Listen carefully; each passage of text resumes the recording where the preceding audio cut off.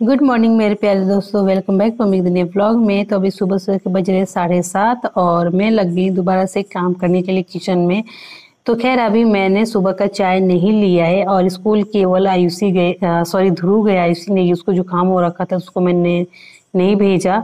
और सुबह का जो कप होता है मेरा चाय का, वो उसको लेने में मुझे पौने आठ हो ही जाता है क्योंकि मैं किचन का टोटल काम कर लेती हूँ। जैसे बच्चों का लंच वगैरह हो, इनका नाश्ता हो और किचन की साफ़ साफ़ सफ़ाई नीचे के नीचे के फर्श को छोड़कर स्लैब हो, गैस चूल्हा वगैरह हो, ये सब साफ़ करने के बाद ही मैं चाय का अपना पहला कप लेके बैठती हूँ। क्योंकि मुझे ना चाय ना तसल्ली से पीना पसंद है।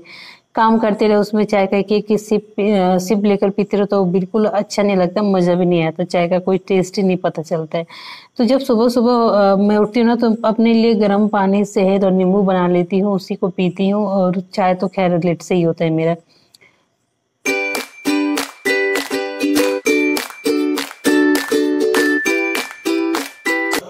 तो बस चाय का कप लेकर बैठ गई हूँ मैं अपने फेवरेट प्लेस पर और एक एक सीप का मज़ा उठा रही हूँ। यही टाइम मुझे अच्छा लगता है चाय लेकर बैठना।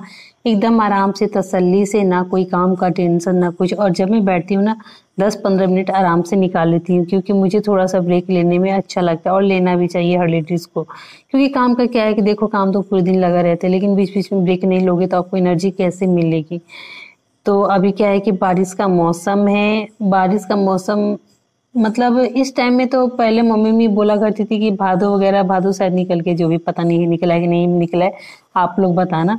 इस टाइम बारिश होया करती थी, लेकिन पहले के हिसाब से अभी तो बारिश कम हो रही लेकिन आज फ़िलहाल यहाँ पे बारिश हो रही सुबह से ही मौसम खराब हो रखा है। और बस वही बारिश हो रही है और उनको, उनकी बूंदों को देख देख कर मैं अपना चाय का सिप ले रही हूँ। और बारिश के मौसम में गर्मा गर्म अदरक, काली मिर्च वाली चाय मिल जाए तो बारिश का मज़ा दुगना हो जाता है।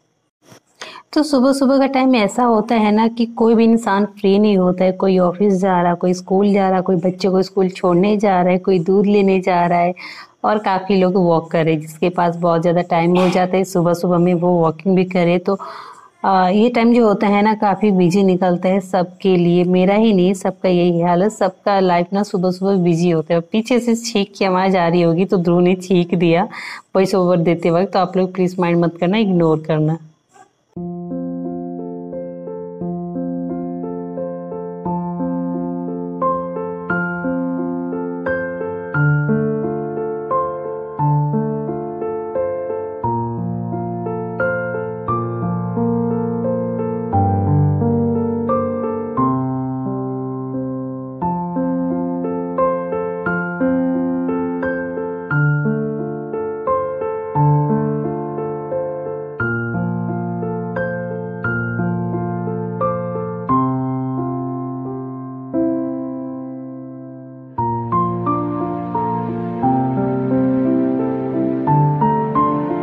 तो चाय पीने के बाद और थोड़ा सा रेस्ट लेने के बाद मैं फिर से आ गई हूँ किचन में। तो ये सब हिस्सा मैंने आज क्लीन किया था। टाइल्स वगैरह सब कुछ।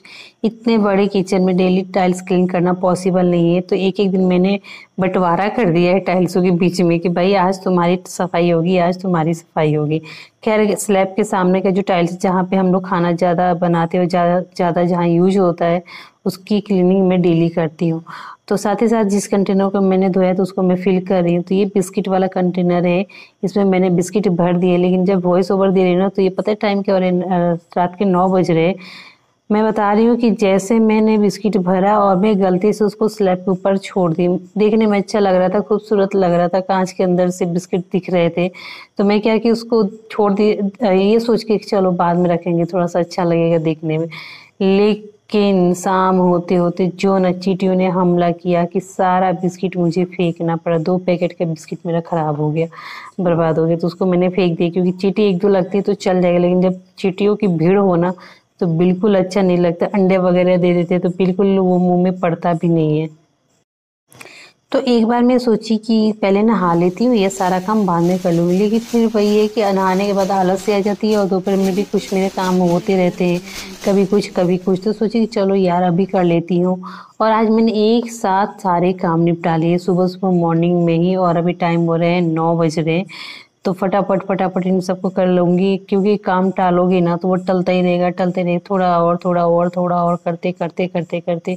फिर वो काम टाइम पे होता भी नहीं है तो और टेंशन बढ़ जाती क्योंकि नेक्स्ट डे भी पता नहीं कौन सा काम एक्स्ट्रा निकल रहा है। घर क्या है, घर का काम तो निकलता रहता है तो जो चीज़ आप सोचो ना, वो चीज़ टाइम पे कर लो तो सही रहता है।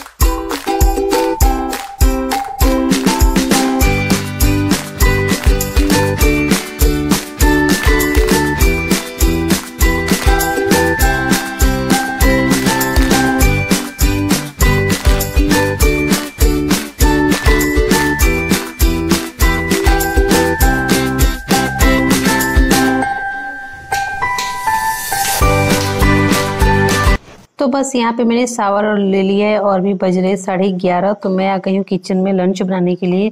तो बहुत ज़्यादा मन कर रहा था कड़ी खाने का। तो आज मैं लंच में बना रही हूँ कड़ी तो कड़ी आज मैं बना रही हूँ दाल को पीस कर। दाल को पीस कर कड़ी बनाने से ना उसका टेस्ट और अच्छा आता है। आप लोग एक बार ट्राई करना। डायरेक्ट बेसन की जगह दाल को रात को भिगो के रख देना। उसको पीस कर बनाओगे कड़ी ना तो उस कड़ी का मज़ा ही अलग होता है।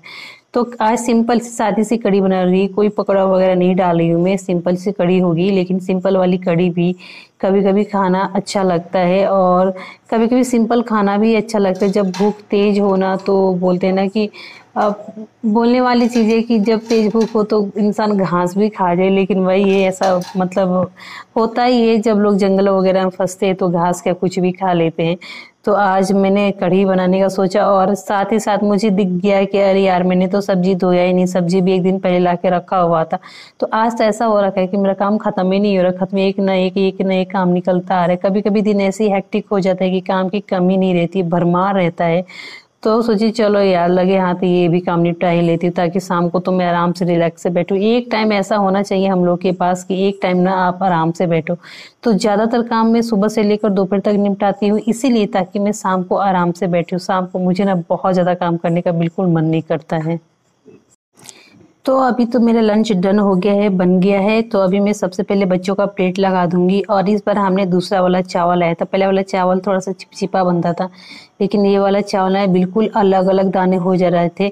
तो चावल का मज़ा तभी आता है ना जो चावल खिले खिले बनते हैं दाने अलग अलग हो जाते हैं तो वो चावल खाने में मज़ा आता है। खैर पतीले में बनाने तो वैसे भी हो ही जाते हैं लेकिन कुछ कुछ चावल होते हैं जो पतीले में भी ख़राब हो जाते हैं।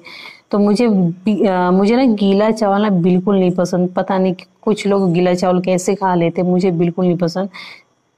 तो फ़िलहाल अभी मैं केवल बच्चों के लिए प्लेट लगा रही हूँ। मैं और मेरे हस्बैंड तो बाँध खाएँगे, क्योंकि अभी हस्बैंड आए नहीं है। मैं उनका वेट करूँगी, जब वो आ जाएँगे तो हम दोनों खा लेंगे। बच्चों को लेट नहीं करती, क्योंकि बच्चों का क्या होता है कि बहुत ज़्यादा फिर लेट हो जाती है। एक तो उनका टाइमिंग नहीं है। खाएँगे खाएँगे, नहीं भी खाएँगे, बोल देंगे कि आज लेट हो गया तो तुम वेट मत करना। लेकिन मेरी आदत है, उनके बिना मैं खाती भी नहीं हूँ। इस तरीके से मैं कितनी बार भूखी भी रही हूँ, और आने के बाद मुझे डांट, खाना नहीं मिलता है डांट ज़रूर मिलती है खाने को। तो ऐसा ऐसा हो जाता है, कभी चार बज जाते कभी पाँच बज जाते और आप ही बताओ चार बजे, पाँच बजे कौन खाना खाएगा? तो ऐसा मन नहीं करता, ऐसे करते करते किसी किसी दिन खाना भी स्किप हो जाता है। तो इसीलिए मैं बच्चों को वेट नहीं कराती, बच्चों का खाना मैं पहले लगा देती हूँ। हालाँकि वो बोलती है कि मामा हम एक साथ ही खाएँगे, पापा को आने दो। लेकिन मैं मना करती हूँ कि, नहीं, आप लोग खा लो, पापा का कोई तो वक्त है नहीं, कब आएँगे वो? सच पूछो तो जब मैं कड़ी खाई ना, दिल खुश हो गया क्योंकि कड़ी बहुत यम्मी बना था। हालाँकि बनता तो हमेशा ही, लेकिन कोई कोई दिन ऐसा आ जाता है जिस दिन चीज़ें अच्छी बन जाती है। तो ये रहा आज का ब्लॉग। आप लोग बताना आज का ब्लॉग कैसा लगा अच्छा लगा तो जी भर के प्यार दीजिए, सपोर्ट करिए यार। प्लीज़ आप लोगों को सपोर्ट की मुझे बहुत ज़्यादा ज़रूरत है। आपके प्यारे प्यारे कमेंट पढ़ती हूँ ना, दिल खुश हो जाता है और आप लोग के कमेंट ही बहुत ज़्यादा कम आते हैं। तो प्लीज़ मेरा सपोर्ट करिए और अपना ख्याल रखिए, पूरी फैमिली का ख्याल रखिए। मिलते हैं न्यू ब्लॉग के साथ, तब तक के लिए बाय